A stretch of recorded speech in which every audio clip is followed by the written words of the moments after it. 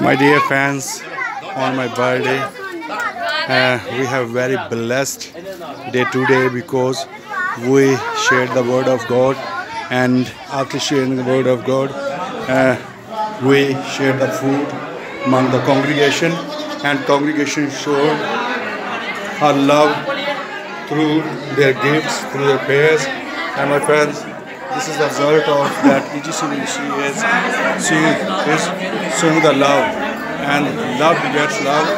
And the word of God teaches us to love everyone. And my friend you can see that how people are enjoying and how EGC is becoming uh, blessings for all. My friends please keep praying God bless you, my friends, for loving and supporting our mission. Please continue. God bless you all.